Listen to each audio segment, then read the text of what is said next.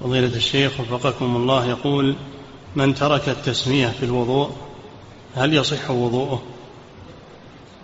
يسمي إذا ذكرها في أثناء الوضوء فإنه يسمي ويمضي يكمل وضوءه.